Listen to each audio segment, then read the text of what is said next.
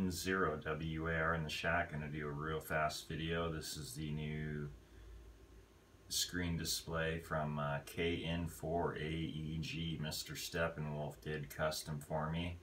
Um, shoot, I got this set up for D-Star now thanks to his help.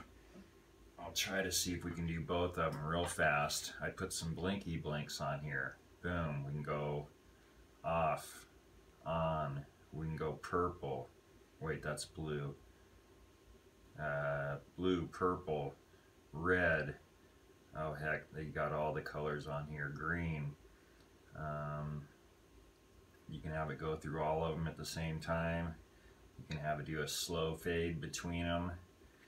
Um, I'll try to test this out on DMR real quick and then D-Star real fast. If it'll do it. We're on the dual spot 31088. Let's see if it'll switch, if it can grab. Now we're on DMR.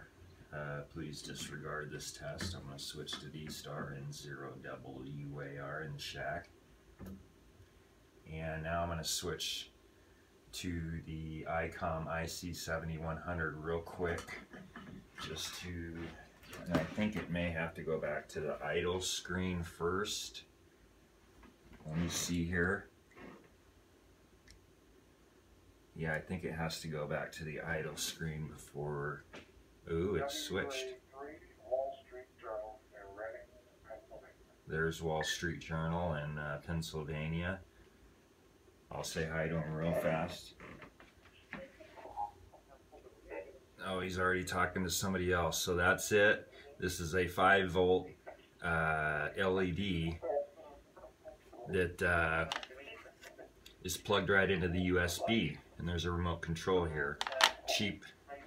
And put that on there, switched it out from the one I had on here yesterday. So I just wanted to show a quick YouTube video real quick and dirty of it. So come on over to the Colorado HD Hotspot Discussion Talk Group 31088 and like, share, and subscribe. And I will make more videos of uh, the, this box is from BI7JTA. Email him if you want one, bi7jta at gmail.com. And it's the two time slot nano repeater. So thanks for watching and 73 for now.